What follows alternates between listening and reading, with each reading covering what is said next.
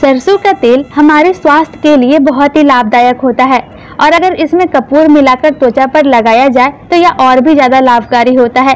सरसों के तेल से न सिर्फ़ हमारी सब्ज़ी अच्छी बनती है, बल्कि ये हमारे स्वास्थ्य के लिए भी बहुत ही लाभदायक होता है। इसलिए हम इसका प्रयोग खाने के साथ साथ दवा के रूप में भी कर सकते हैं। इसमें कई सारे ऐसे पोषक तत्व हैं, जो हमारे बालों से लेकर हमारे शरीर की सारी त्वचा को लाभ पहुंचाते हैं। ये एक बहुत ही अच्छा दर्द निवारक भी है, जिससे गाठिया और कान का दर्द तक ठीक हो जाता है।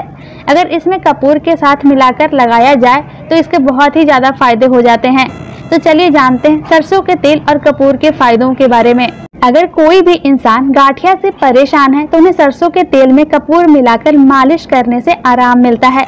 सरसों के तेल की कुछ बूंदे थोड़ा बेसन और हल्दी मिलाकर अपने चेहरे पर लगाएँ। थोड़ी देर बाद अपना चेहरा साफ़ पानी से धो ले।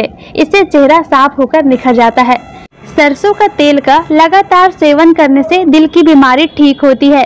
सर्दियों के दिनों में सरसों के तेल में थोड़ी हींग, अजवाइन और लहसुन की कलियाँ डालकर उसे गर्म कर लीजिए। फिर उससे कमर दर्द वाली जगह पर मालिश कीजिए। ऐसा करने से आपका कमर दर्द ठीक हो जाएगा। नवजात शिशु की सरसों के तेल से मालिश करनी चाहिए। इससे उसे ठंड नहीं लगेगी।